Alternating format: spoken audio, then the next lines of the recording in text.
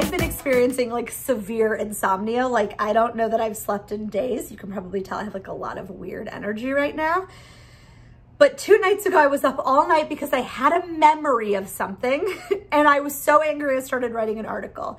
And I've realized that when I angry write articles, it is just so likely to be published somewhere. So I thought I'd get ahead of this and also do a video. Um, when I was in undergrad, when I was in college, I was I was morbidly obese. I'm gonna just be honest. I I believe in health and happiness and love at any size and in college, I was not healthy at all. I don't think I could walk two blocks without feeling winded. And my senior year, I decided to take a dance class. I think I had to do something movementy. I don't remember. There might have been a prereq, but I decided to take a dance class, which when you're feeling, when you're out of shape, when you're struggling with your body, that's, that was like a scary, brave thing that I did. And the professor of that dance class um, could not have been more non-inclusive and mean and awful. And I'm thinking about, I think, two or three stories that super stand out. So I'll tell the first one. My Tourette's in, so I often took breaks from class. If it was longer than 30 minutes, my, like, I had disability accommodations and I was allowed a break from class. If anything, to like get out of the space and like make noise and let my Tourette's out and like be in control of my own body.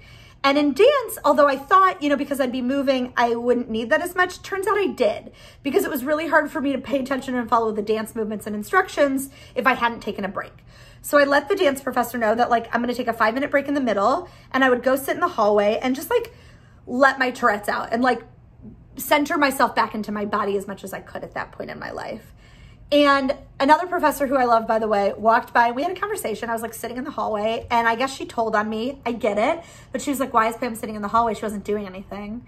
And the professor then told me I could no longer take a break because I wasn't doing what she expected me to do during a break. I was just sitting there. And I was like, What? Okay. Like, that is the break. Like, the break is that I just can, like, do what I need to do in my body for a few minutes without anybody watching. And she got really upset about that. And I had to like get the disability team involved and included. But here's the day that I remember like really hating her. um, so I was in a larger body, which means that there were certain dance movements where you couldn't always see if I was doing it correctly. I remember one thing and we were on all fours and it was like a moving your back up and down but because I was in a larger body, it was hard to see. I wore a lot of baggy clothes. It was hard to see that. And so we had like halfway through the semester, she told me I was failing dance. Whatever. Okay. Hated her. So I was failing dance. And I remember sobbing. And I was like, why am I failing? Like I'm here every day. I'm learning the dance moves. I used to dance as a kid. I loved dance. She made me hate dance, by the way, for years and years. But I loved it. And so I scheduled time to meet with her. And I wonder if she remembers this, but I remember her saying, I don't think your body's doing what it's supposed to be doing with the dance. So you're failing. One, can you imagine failing someone who's trying so hard from dance and they have like a neurological movement disorder, but their body isn't doing what you tell it? Like, can you imagine saying that to somebody? But at that moment, I was like, no, I actually think I am doing it. I think I'm doing it correctly. So she said, I want to like see you do it. So I, I had to go through the movements that she had taught us. And she was like, I still can't tell. So she was like, are you willing to like take your top off and be in a sports bra or pull your shirt back so it's really tight so I can see your body and what it's doing? And I remember I wouldn't take my, shirt, but I pulled it back so it was really tight so she could see what my body was doing. And I remember her touching my stomach and my back to see if I was doing what my body was supposed to be doing. And in that moment, I, I, I sobbed through the whole thing. And I wasn't violated in like a sexual way, but I was more like violated in like, this gave me no autonomy of my own body. She like, it just was such a mind boggling experience. And I ended up, thank goodness, getting through that class. And I think I even got an A or B in dance because I think after that moment, she realized I was doing what I was supposed to be doing.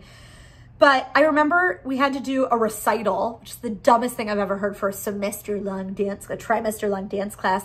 And a bunch of girls came to laugh at me, to like laugh at me and my body dancing. And they're people I'm friends with. And I, I'm sure they would say, we went to cheer you on, but like, I know they didn't. They didn't. And I know that. Um, I'm only, I've only remained friends with one of them after this, but I like, I remember them being like, you have a recital, we're coming. And I was like, please don't come. And they were like, we're coming. And I was like, please don't come. And they like cheered me on in a way that was like, we're cheering on the fat girl who's trying to dance. And it was hurtful and mean. Yeah. And that's one of those stories that like really, really stood out and sucked. And uh, I used to love dance. And after taking a class in college, it took me 10 years to go back to doing anything with dance. And now in New York, I do take dance. I take tap classes. I take like a Broadway class with like, you know, Broadway dance, but I won't film it. I won't let anyone see it. I won't do anything where it's dance in front of other people. Um, hopefully I'll pull myself out of that at some point because I really, really, really love dance and would like to get back into it. So if you are an educator who teaches dance, please don't do what that woman did. Please don't do that. And if you have had a similar experience or a teacher who just like took away all of your body autonomy, comment below. I'd love to hear it if you're comfortable like this. But thank you for letting me share my story. I hope you can tell that it's been a while since I finished college and I'm still angry about it. Still angry about that professor.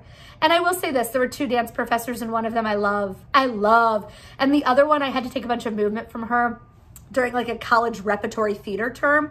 And I, I do remember loving that, but it was things like you're moving through water. Now you're moving through paint. And like whatever my body did in that moment was correct. And I, I got that from that professor and I felt safe there. And so in, it was more of like movement improv and I loved her. So I don't want, I don't want that professor to think this video is about her. I love that professor and her husband, but there was another one who was viciously mean. And I don't think I ever told anybody about that office experience where she was touching me to see if I was doing what she wanted to or what she like wanted my body to do to get an A. Huh. With that, uh, keeping weird, you do you. Thanks for hanging out with me as always. And yeah. Mwah.